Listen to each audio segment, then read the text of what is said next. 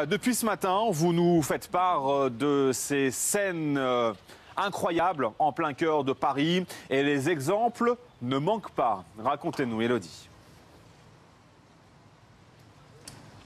Exactement Thomas, avec Laura Mousset, on s'est déplacé un petit peu euh, là à.